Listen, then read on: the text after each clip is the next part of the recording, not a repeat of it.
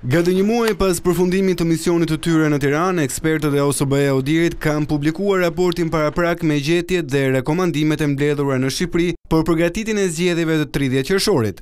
Në raport evidentohet situata e tensionuar politike në vend, ku opozita tashmë është jashtë parlamentit dhe është në pikëpyetje edhe pjesëmarrja e saj në zgjedhet lokale. Zgjedhjet vendore të tridhjetë qershorit do zhvillohen në një kontekst të karakterizuar nga një vendim i pashembullt i partive të opozitës që kanë vendosur të heqin dorë nga mandatet e tyre në parlament.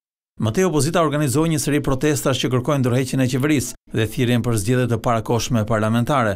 Qeveria i hodhi poshtë këto kërkesa.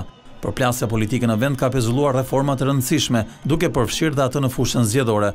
Shumë nga bashkëbiseduesit shprehën shqetësimet që ka mosbesim i përhapur mes partive politike dhe politizim i vazhdueshëm i institucioneve, që kontribuojnë negativisht në mungesën e besimit të vazhdueshëm në procesin elektoral.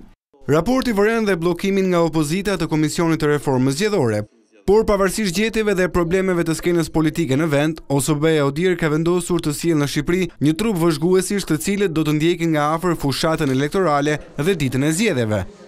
Rekomandojmë vendosjen e një misioni vëzhgimi të zgjedhjeve për zgjedhjet lokale të tridhjetë qershorit në varësi të disponueshmërisë së burimeve. Përveç një ekipi bazë të ekspertëve, ODIHR do kërkojë nga shtetet pjesëmarrëse të OSBE-së njëzet e dy vëzhgues afatgjatë për të ndjekur procesin elektoral në gjithë vendin, si dhe dyqind e pesëdhjetë vëzhgues afatshkurtër për të vëzhguar procedurat e ditës së zgjedhjeve, përfshirë votimin, numërimin e votave dhe publikimin e rezultateve.